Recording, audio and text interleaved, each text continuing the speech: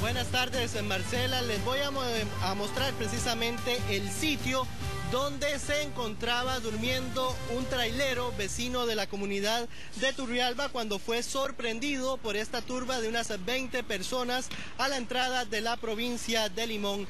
Él ya se encuentra en su casa, pero nos han indicado que él se encontraba precisamente descansando en esta parte del furgón cuando estas personas llegaron y con una botella le quebraron la ventana y posteriormente hicieron su ingreso hasta el furgón. Violencia que no solo se vive en el Caribe de nuestro país, sino que también en la provincia de Alajuela. Veamos la siguiente información.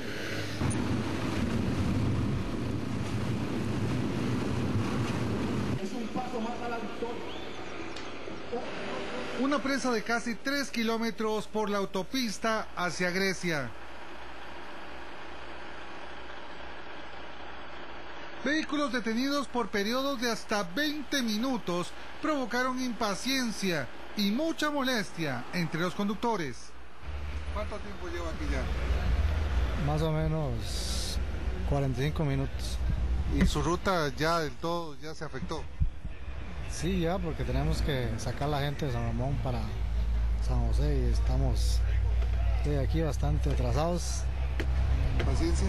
Sí, ¿qué vamos a hacer? inesperado. Sí, la verdad que no creí que fuera a topar con esto por acá. ¿Lo ha afectado mucho? Vaya poquito, tengo unos 20 minutos estar acá. Pero está de acuerdo ¿no? con lo que está pasando. La verdad que no, a mí no me parece, porque no tenemos por qué pagar estos problemitas que tienen ellos por el gobierno, ¿será? No, esto es una falta pues, de respeto para toda la gente que trabaja y de todo. Yo creo que están buenos por las acciones que está haciendo pues el gobierno y, que pongan orden, porque ya así no se puede. ¿Perdió mucho tiempo? Sí, pues tamaño tiempo se lleva pues perdido y de aquí para allá va a ir a, pues a paso lento.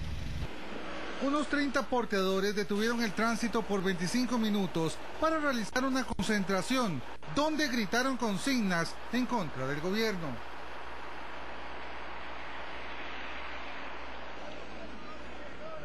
Lo que hicimos hoy no fue bloquear, hicimos un mitin de 15, 20 minutos, terminamos de decir lo que queríamos decir y la gente puede continuar.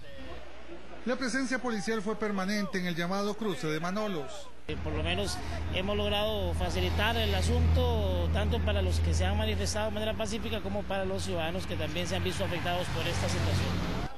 Poco antes de las 10 y 30 de la mañana los portadores dieron por terminado su movimiento.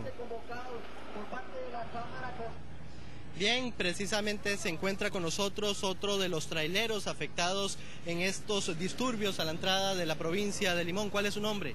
Deris Aragón. Deris, ¿qué se encontraba usted haciendo cuando llegaron estas personas? Este, yo estaba estacionado en mi carril esperando que, que abrieran la presa o que me dieran algún visto de algo. Sí. ¿Llegaron ellos a amenazarlo? Correcto, ellos se subieron al camión y me amenazaron con arma me dijeron que le, que diera el celular, la billetera y bueno, en parte se me subieron al camión y me robaron unas tenis y objetos personales.